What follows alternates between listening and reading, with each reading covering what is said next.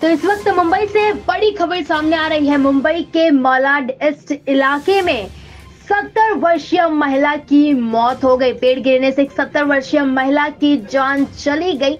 ये घटना शाम साढ़े चार बजे की है मृतक महिला का नाम बताया जा रहा है कि मृतक महिला जो है, उसका नाम शिंदाबाई अहिरे है और घटना की सूचना मिलते ही मौके पर पुलिस पहुँच गई और पुलिस ने छानबीन करनी शुरू की। छानबीन करने के बाद पुलिस ने शव को कब्जे में ले लिया है और शव को कब्जे में लेने के बाद अब पुलिस लेकर गई है पोस्टमार्टम के लिए। ये घटना मुंबई के मालाड ईस्ट इलाके का है। ये हादसा उस समय हुआ जब पेड़ गिरने से एक सत्तर साल की महिला की मौत हो गई।